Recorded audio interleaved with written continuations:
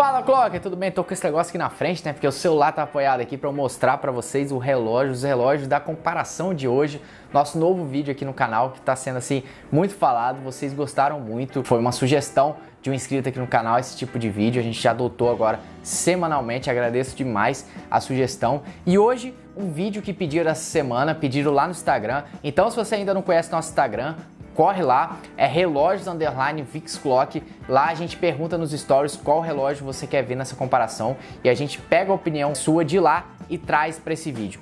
Hoje, um relógio da Séculos versus um da Tecnos. Um cliente pediu para comparar esses dois relógios essa semana e eu resolvi gravar esse vídeo. Vamos aqui para a tela, vamos ver. Ah tá, antes de tudo, se inscreve aqui embaixo se você não é inscrito, ativa o sininho para não perder nenhum vídeo, porque a gente sempre está produzindo conteúdos incríveis para você, mostrando relógios diferentes para você. E já curta esse vídeo que eu tenho certeza que você vai gostar. Bora pro vídeo. Olha só, os dois relógios que eu tô aqui hoje, um da Séculos, um da Tecnos. Vou falar as semelhanças, né, rapidamente aqui deles. Os dois são totalmente de aço inoxidável, tanto a caixa quanto a pulseira. Né? Isso daí logo de cara você já vê essa semelhança. Os dois possuem função calendário, ó, tá vendo? Os dois são a prova d'água.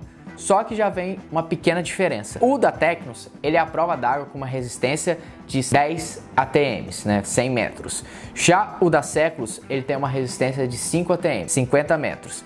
Essa é a primeira diferença. Os dois são a prova d'água, então você já pode ficar tranquilo em relação a isso. Só que esse daqui possui da Tecnos possui uma resistência maior. Você tem que ver o que fica melhor para você. Aqui embaixo, já mostrar o fundo dele. Esse daqui o da Séculos, ele é fundo de rosca. Você pode ver aqui, é um plástico ali, por isso está manchado assim. E o da Tecnos, ele também é fundo de rosca. Só que ele tem essa tampa transparente, tá vendo? Muito legal. Você vê a máquina lá da Tecnos.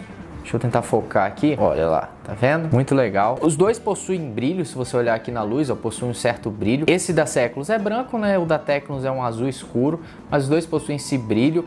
O brilho da Séculos é mais radial, parece que, olha, você vai rodando, parece que vai rodando um brilho ali dentro dele. Esse daqui é um brilho mais uniforme, esse da Tecnos. Outra diferença básica tá no bezel dos relógios. Esse daqui tem um bezel menor, só que mais trabalhado.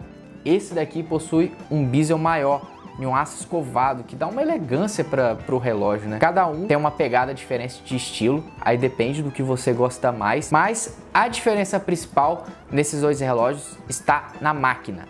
Esse da Tecnos possui uma máquina suíça, então quem conhece relógio sabe que as máquinas suíças possuem uma qualidade realmente muito alta quem conhece sabe. E esse da Séculos também é um ótimo relógio da linha Long Life da Séculos. Só que possui uma máquina de quartos, né, que a gente já está acostumado a ver em vários relógios. Não quer dizer que são máquinas ruins, só que é um diferencial você ter uma máquina suíça. Tanto que máquina, as máquinas da Long Life são reconhecidas aí pela sua qualidade. A linha Séculos Long Life é muito boa, né? Todo mundo que conhece relógio já sabe. A pulseira dos dois são invertidas, se você reparar, né?